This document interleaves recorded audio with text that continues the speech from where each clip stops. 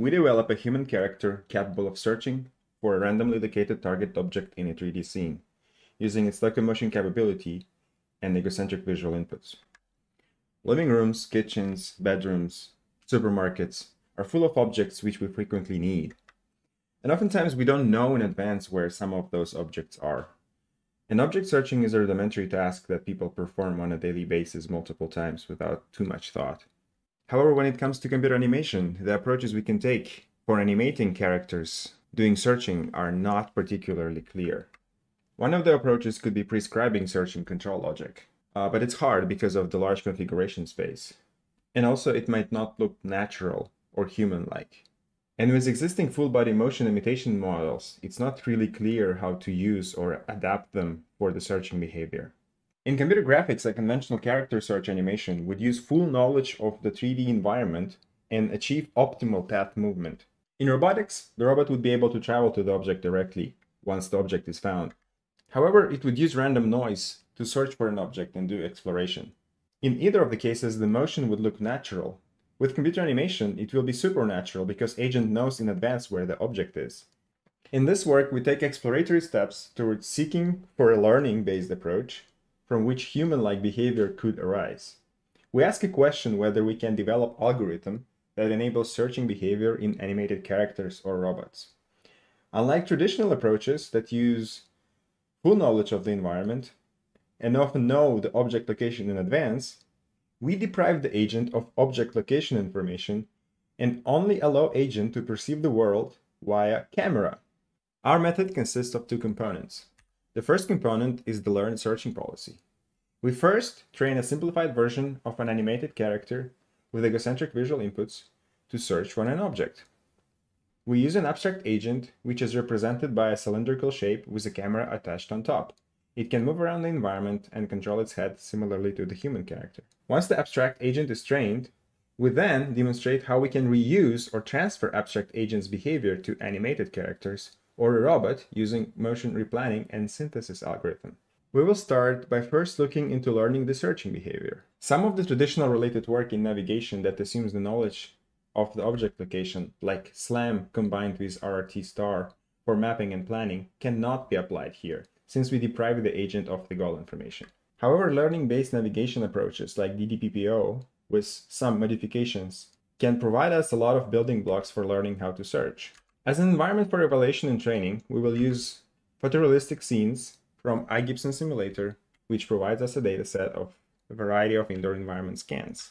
We augment the houses with additional furniture that is relevant to our task, such as cabinets, which we can use for object placement, in addition to placement of objects on existing surfaces like countertops or the floor. The objects during training and testing can be placed on any of the surfaces within the environment.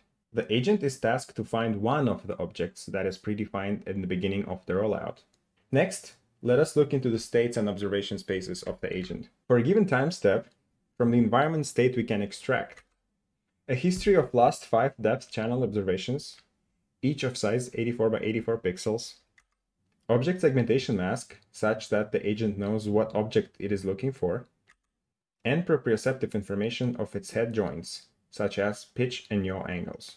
To reduce the dimensionality of the state space and force the agent to learn a policy agnostic to the object shapes, we preprocess the mask channel. Specifically, we downsample the 84 by 84 array to size of 5 by 5 which simply means that the agent needs to pay attention to a specific region as opposed to a particular set of pixels.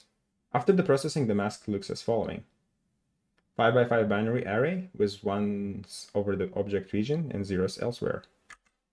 Next, we will look into the rewards used for incentivizing the searching behavior. The rewards are inspired by the related work from the area of learned navigation. There are four different terms that are used for calculating the reward. First one is a success reward, which is given if the rollout is successful and not given elsewhere. We will look into what exactly success means in the next section. Next term is delta distance, which is positive when the agent takes steps towards the object, and negative when the agent takes steps away. Third term, called life penalty, encourages the agent to complete the tasks more efficiently. And lastly, we want to avoid any collisions while we are performing the tasks, Hence, we add a term for penalizing any contacts between the agent and the environment. We will now define the termination condition for the training. For the task to be successful, the agent needs to meet three conditions. It needs to find the object and keep the object in the field of view. It needs to be within certain distance from the object, 0.5 meters in our case. And it needs to do that within a certain time frame, like 100 time steps.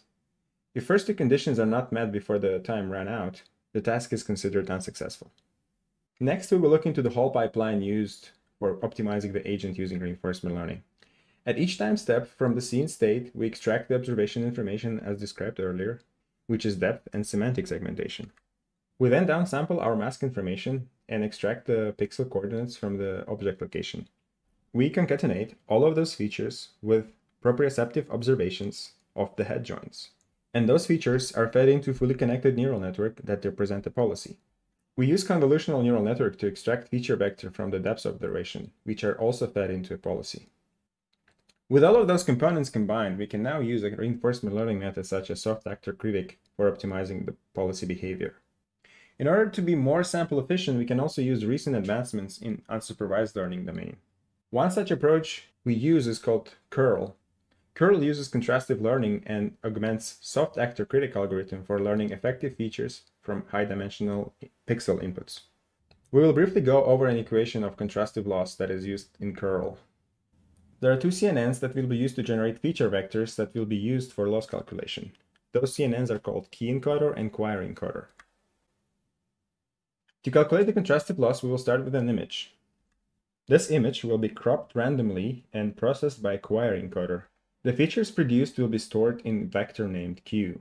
Another random crop from the same image will be processed by a key encoder, and the features will be denoted by k+. These features will represent a positive matching pair of the query features. We will sample a number of additional images different from query image. Those will be our negative samples. Random crops from those images will be processed by a key encoder, and they will be labeled as negative samples. To define our loss, we will use a similarity measure, which is a dot product of two feature vectors. The name of this specific loss is INFO-NCE, standing for Noise Contrastive Estimation, which can be thought of as the log loss of a k-way softmax classifier, where the similarity score between the query and the positive sample is normalized by the sum of the scores of itself with the similarity scores between the query and the negative samples. The intuition for this loss is to encourage the encoded latent features of queries and keys from the same time instance to be close to each other while being far away from the latent features from different time instances. There are multiple ways of measuring the similarity between the query and the key pairs. In our work, we use bilinear product for measure calculation.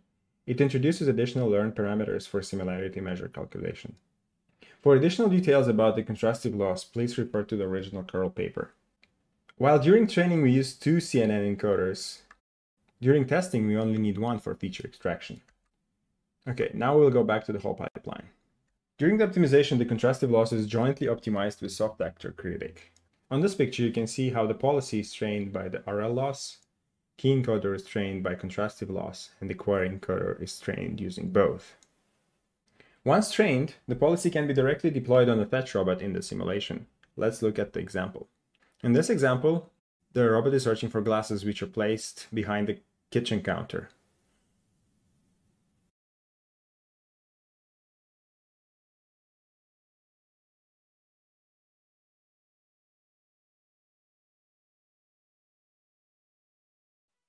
Here we are looking at the same rollout again.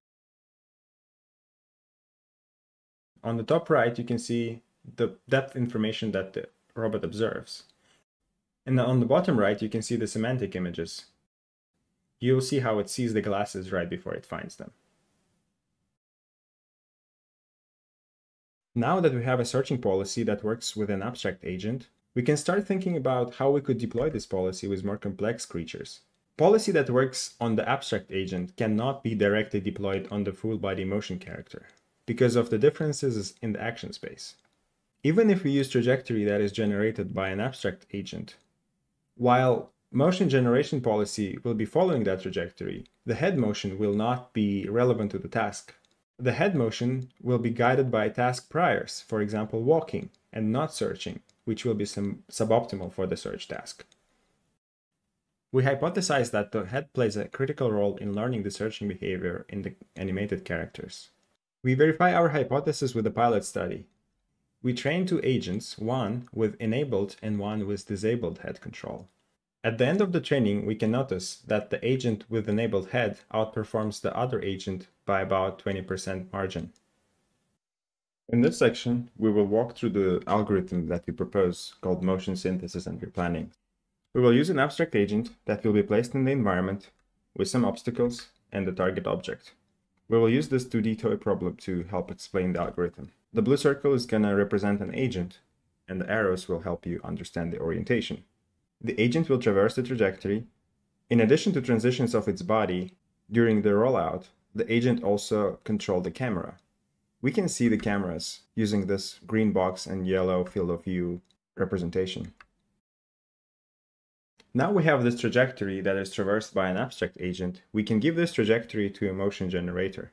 This trajectory gonna be a future trajectory that the motion generation algorithm expected to follow.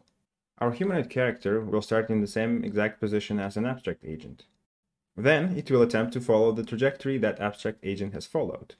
If we visualize fields of views observed by a humanoid character during the trajectory following, we can see that the motion generated by the motion generation policy simply follows the walking dynamics. And we can see that there is a huge difference between the abstract agent's head behavior and the head behavior of the motion generator. Head motion follows the behavior as if human was walking along the path and not as if it was searching, which is suboptimal for the search.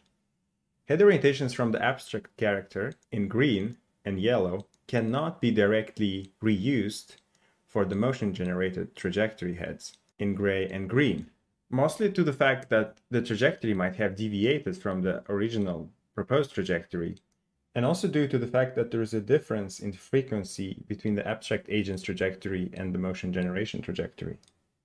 What we propose to do is we propose to set an abstract agent in each of the motion generated traverse locations and use the generated actions to overwrite the head motion. We first will get rid of all the head configurations from the traverse trajectory we will bring back our agent and its abstract policy into play. We will set our agent into the exact position as the character's head orientation and root configuration. From that character's position, abstract agent will observe exactly the same scene as the original character would observe. We will render the environment and add head configuration joins such that they match abstract agent configuration space. We will query our policy for a new action we will get delta root for transition and delta head for the head control. We will use the delta head action and combine it with the current head configuration of the animated character. The result of the operation will simply override the next configuration of the head.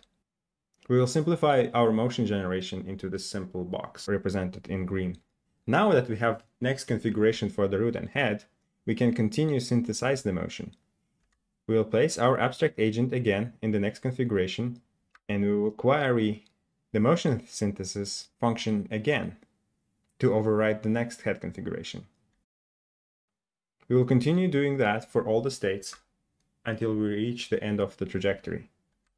By the time we reach the end of the motion generation trajectory, we will have a head motion that would be following the searching behavior as opposed to the walking behavior. With this slide, we can see the difference between the normal walking motion, which is mostly looking forward because it tries to follow the forward trajectory path, and the search policy behavior, which tries to look around while navigating the trajectory.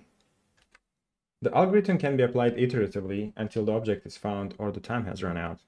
The abstract agent will be set to the latest motion generation configuration and continue planning from then onward. Once the trajectory is ready, the trajectory will be fed into the motion generation planner.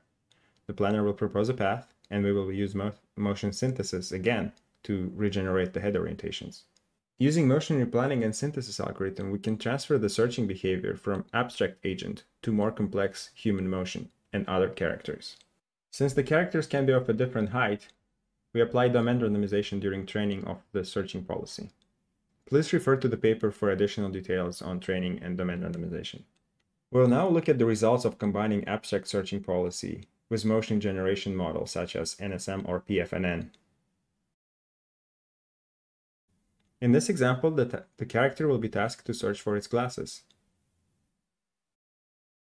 The glasses are behind the kitchen counter.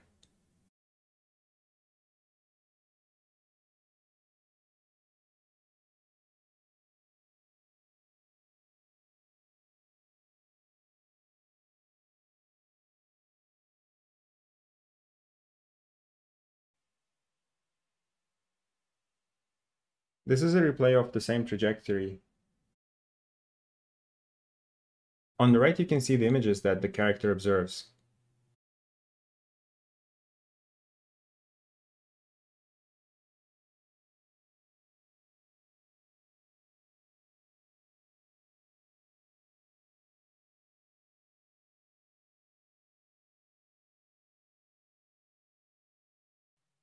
In this example, we will see how the character finds the object, then loses it, and then recovers to go back and find it again.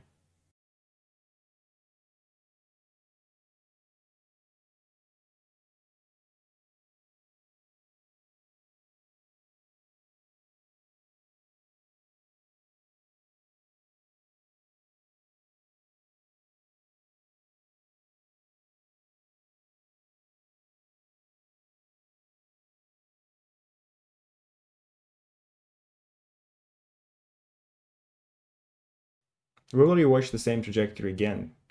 Pay attention to how on the right bottom the character can see the, the mask of the object. It gets close and then it gets out of the view.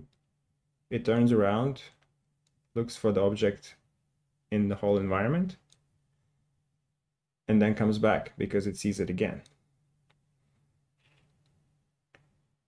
As you might notice, the character didn't really need to go around because it already saw the object, but because the, our agent is memoryless, that's why the agent forgets that the marker was there.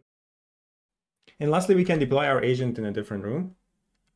In this case, it's a bedroom uh, with a connected bathroom, and the object is hidden in the bathroom on the floor. Now we will talk a little bit about the evaluation. Uh, the performance of the abstract agent, as we saw earlier on the left, uh, we also evaluate different heights of the agents and report the performance for each height configuration in the table on the right. From the table on the right, we can say that high camera locations give agent better view at the scene. It's harder for shorter characters to see the objects placed on the surface above their height. And lastly, from the table on the right, we should notice how short agents have hard time finding the objects that are outside cabinets most of the time because it's simply not plausible for them to find those objects because they're too high. While there is no good metric for measuring how natural or optimal the searching behavior is, we can use a performance metric used for object navigation tasks to measure how efficient we were in finding that object with respect to trajectory length. The metric is called SPL, standing for success weighted by shortest path length. Number n in the metric represents the number of trajectories that were generated by a policy, S represents the success indicator, whether the policy rollout was successful or not. L representing the shortest path length, as if we were planning using RRT star or A star for an optimal trajectory. And L is weighted by max of L or P, where P is the agent path length. Using this metric, we can show the importance of the long-term trajectory planning, and that simple noise-based exploration is not sufficient for finding the object in the desired environment. You can see how our algorithm on the right of the blue dashed line outperforms the algorithms on the left, which are considered baselines. Baselines consist of a single step planning and noisy search behavior. And on the right, we can see that the larger number of abstract trajectories generated by an abstract agent is required for smaller values of m, which is a trade-off for higher SPL. We invite you to check our paper for additional details about the baselines and algorithm evaluation. We hope that our research inspires the future work in the direction of learning behaviors for the computer animation and robotics. Some direct extensions might involve more complex scenes and searching scenarios, agent accompanied by a memory, or the scenarios where the task is more complex and requires character interaction, for example, opening the drawers for searching for an object. This is the last slide, and we would like to thank you for your attention. Please use the link on the screen to find more details about this work. Thank you.